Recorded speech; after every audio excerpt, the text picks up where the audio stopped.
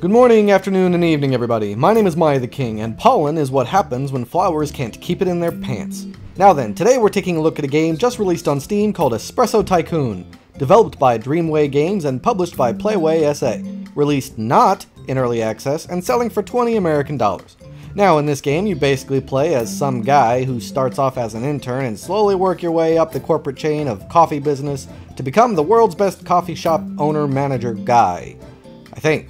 I mean, it's a simulator game, what did you expect? Obviously, it doesn't have much of a story because it's just a simulator about owning different types of coffee shops, from food truck portable vendor styles and, you know, all the way up to fancy coffee shops in Paris. You know, it's a top down style with an interesting graphical feel, and yeah, it's just a coffee shop simulator. However, there are some things here that you just need to know, so don't dismiss this game or this video without hearing all of it, alright? Like for instance, it has two different modes of play, the campaign mode with some story, voice acting, and the tutorial, or sandbox mode where you pick your, you know, where your shop will be and then build it up from the ground. Alright, so as always, let's go into the good and the bad, followed by my final thoughts and recommendations, shall we? So the first thing in the positives is the price tag. If you knew what I knew, then you'd know that this price tag is very appropriate. At first I was like, $20 for this? But then I started to play it and could instantly see why it's $20. I'll go into detail a bit later, but for now just know that the price tag is appropriate. Very much so, and I'm happy to see it. Secondly is the tutorial. Wanna know why? Because I said so! And if you ever watched any of my videos, you know just how particular I am about my tutorials. What's that? Can't just take my word for it? Fine.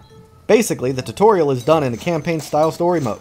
I know, right? A campaign in a coffee shop simulator? But we'll get into that. For now, all you need to know is that the tutorial is simple, easy, fun, it works, teaches you everything you need to know in a fun, easy to understand way, and doesn't feel like a chore. It's nice. Next up is the sound and the music. The game does have voice acting, and it's okay, I guess. Not the best, but not the worst. I mean, the lady is clearly going for a certain style, and it's almost creepy, but not quite so, so it's passable. I guess. The guy is, he sounds kind of like a robot. I don't know. I'm not sure what his deal is. As for the music, it's your typical generic waiting in an elevator music. It's really bland and in the background, so that's disappointing. And the sound effects are pretty on point, actually. Like, the sound effects are pretty good. It sounds exactly like you want it to when it comes to making coffee or other little tidbits scattered about. I mean, it's not perfect, but it's closer to good than to bad, which is why it's overall in the positives. Next up is the graphics. Now, they aren't the best, by far, and there's not a lot of attention to detail, but they do some things really well here, like the color contrast, the lighting or the reflections, the color designs, and just the overall look of the game is pleasant on the eyes and not too hard to look at. Overall, the graphics and art style are slightly above average, so they have to be here in the positives. Now we go into the game's biggest selling point, the gameplay. How is it exactly? Well, it's pretty darn awesome. I mean, even if everything else sucked, this gameplay is so fun and addictive that before I knew it, my time allotted for gameplay footage was already up, but I wasn't done playing yet because I, I just, I had to get more money. I, ju I just have to. I got to get more beans. It's kind of like stars, like a five-star restaurant. Here it's a five-bean restaurant. So I just, I had to, and I, I, I can't help it. The gameplay is fun and it has a lot going into it. I mean a lot. So you can you can customize your shop as you'd hope in a game like this, right? So here, First, you can choose the name of your coffee shop and its logo. Hell, even design, the lettering, and the color, and, and then you get to choose the color that you'd like to use. Then you can change the design of the floors and the walls. You can choose different types of seating arrangements. Uh, you can plant plants and set down posters, etc. Right? But that's not all. You can also create and customize your own coffee recipes. Choose the cup, choose the flavor and the ingredients and the toppings. You can name the coffee, set its price, and it's just, it's incredible how much customization is going into the making of your very own special blend. You can hire different baristas with different skills and train them, put them on the, the shift that they prefer, raise or lower their pay. You can also raise or lower the prices of your different coffee options, but I kind of already went over that just a minute ago. But not everything is unlocked at the beginning, so you'll need to research things, which takes time. You can also follow trends that are going around and prepare coffee to help draw in more customers. And if you ever wanted to just say screw it and do whatever you want, when creating your custom sandbox, you can enable cheats, which just do a bunch of random fun stuff, you know, whatever you'd like to set up the perfect scenario that you'd like to have and play through.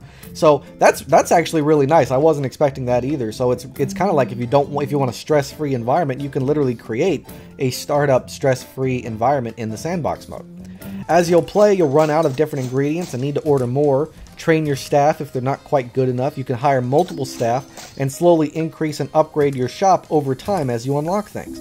The majority of the gameplay is just sitting there and waiting though, but we'll go into that a bit later. For now, just know that this coffee shop simulator has a lot more depth to it than I would have thought. And last but not least is the stability. Thankfully, as a fully released game, it did not release with a lot of bugs and glitches. I have noticed only one small minor bug, and it might not even be a bug, but just bad programming, but it's the AI pathing system. Like, it's ridiculous watching them just kind of walk around in circles trying to get into their seats or trying to walk out the door. But otherwise, I didn't run into any real glitches or bugs, especially not any that might be worth mentioning here. Alright, so that's all I got for the positives. Up next is the negatives. The first negative is the gameplay. Yeah, it's in the positives too, but I had to make mention. Once your shop is finished and you're done with the customizing, it's literally just you sitting there with sped up time waiting for more money so you can do more stuff. And then and then what happens when you run out of more stuff? Like what happens when you unlock everything? It's literally just you sitting there.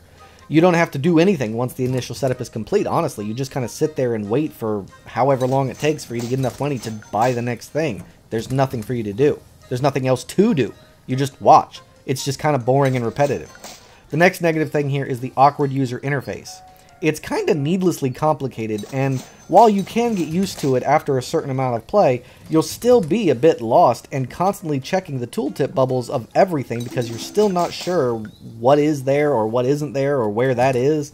It, it looks nice, but it's just a bit too complicated.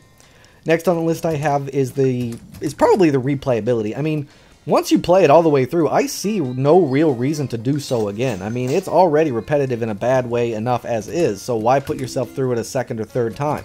I mean, unless you like customizing your coffee once and then watching people come and go from your store over and over again, you're probably going to find yourself bored with this game after a little while, and then why would you come back to play it again? See what I mean? And that's pretty much all I have for the negatives, and even those were stretching it a bit. Yeah, it has its annoying points, but overall, the game is a solid experience in my book. It even has a bit of humor, which did make me smile a few times. They even have several shoutouts to the popular sitcom Friends, which I'm a fan of, so that was pretty funny and nice. Overall, I think this is a surprisingly good little game. I was not expecting much, but the game had...